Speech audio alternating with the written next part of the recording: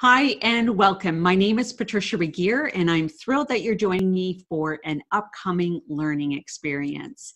I'm going to show you first how to sign up for a Canva account. It's a free account opportunity.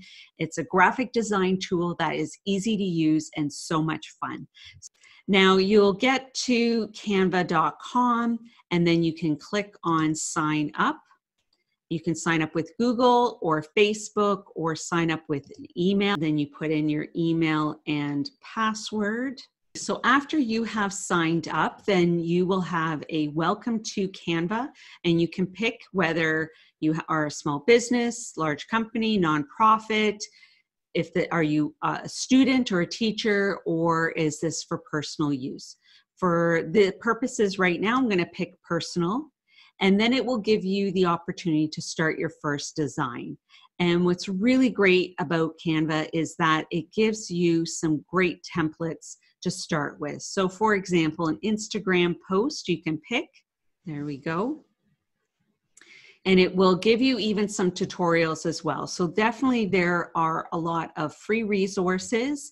What we're going to do in upcoming workshops and webinars is answer your questions when you run into roadblocks or you're not sure how to do something or you would you really prefer the style of in-person or direct help um, to show you step-by-step instructions in real time for your needs so you can play ahead of time. It's great to look around and see what you want to do and what you want to learn, and let me know that as well.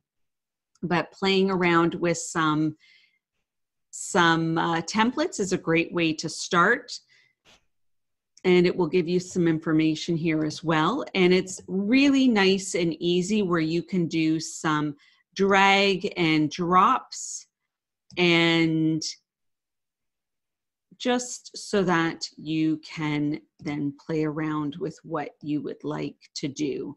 So you can, I will show you step by step um, in real time, in person.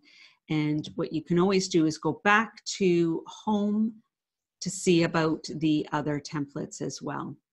And there are some great animated social media posters, presentations for PowerPoints, and uh, covers, banners, for all of the different social media platforms, as well as everything from certificates to a book cover or logo or icons um, and business cards. So there's a lot that can happen in here, and, and then you'll see what your designs are um, in this part as well.